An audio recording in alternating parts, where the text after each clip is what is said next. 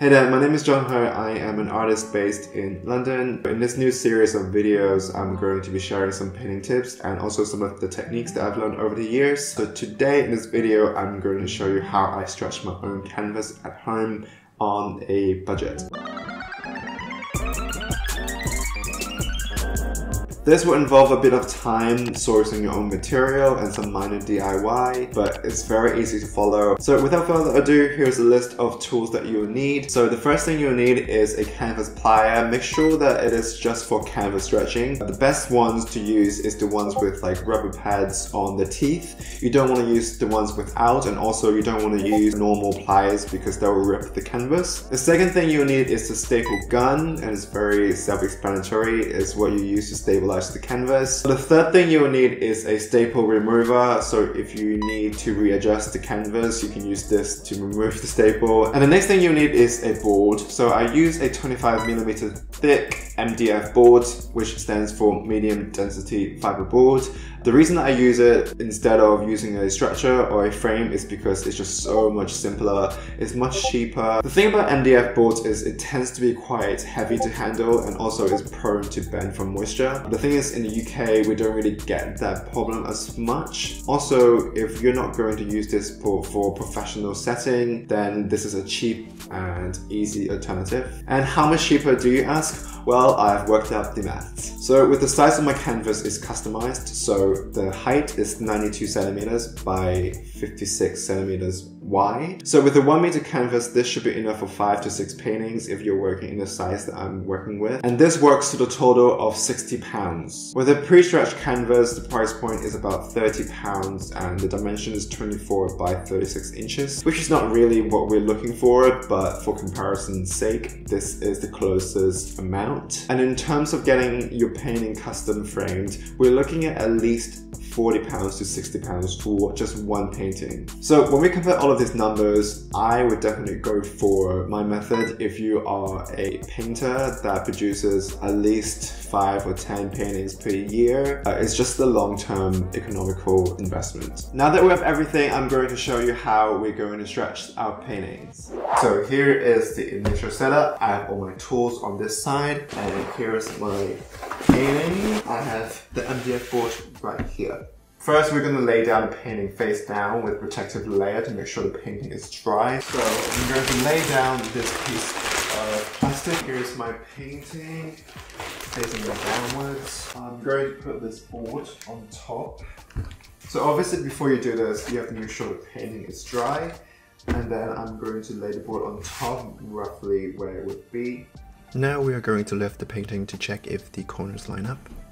So what you're going to do now is you're going to flip the painting up and with the board and have a look to see if the painting's lined up to the corners and to the sides. So what I'm going to do now, I'm going to put a staple in this position, so right in the middle, not too close to the edge, because that would fray and the staple won't hold the canvas onto the wood.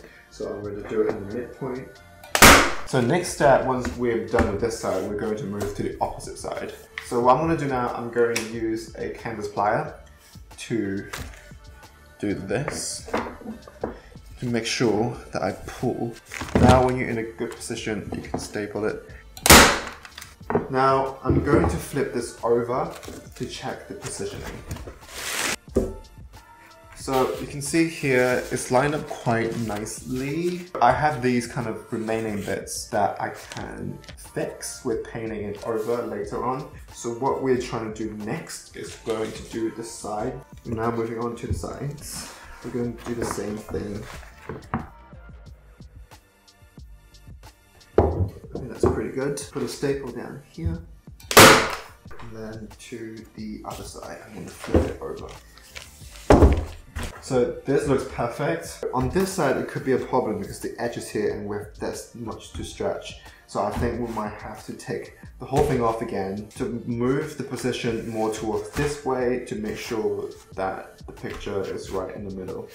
This is quite a tedious process, but you have to get this right.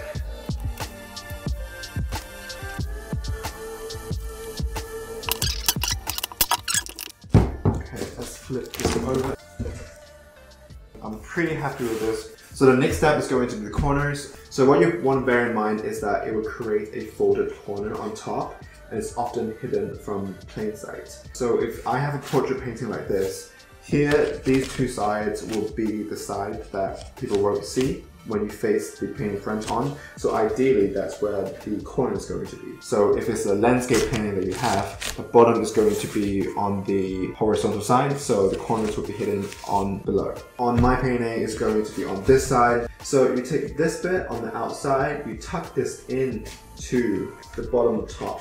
You flip this inwards to go over what you had before. It should look something like this. And you might see that this is kind of coming out from the frame and you don't want that. You want it to line up like this to the side. You wiggle this bit inwards like that, you roll it to make it go straight down. We're going to put a staple on here. Sure, I would do another staple here just to make this not fly around. And I'm going to repeat the same thing on the other corners.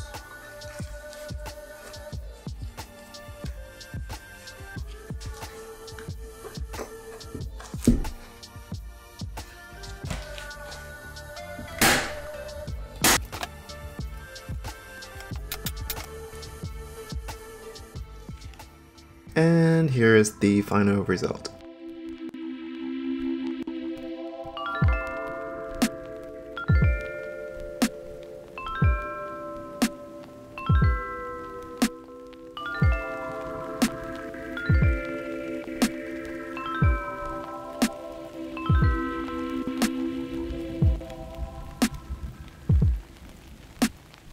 I hope this video was helpful and is going to help you save some money in the long run. If you're hoping to get the exact tools that I've used, I've left the links below in the description box. These are affiliate links, meaning that I will make some money. It will help me continue making these videos. I hope you enjoyed this video and if you do, subscribe for more and also leave a comment below if you have any questions and let me know how you get on. And as always, thank you so much for watching and I'll see you in the next one.